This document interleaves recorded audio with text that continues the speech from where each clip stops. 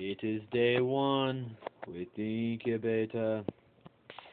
As you can see, we have three bantams, four green, and five white. And there are too many brown to count. This incubator is equipped with everything.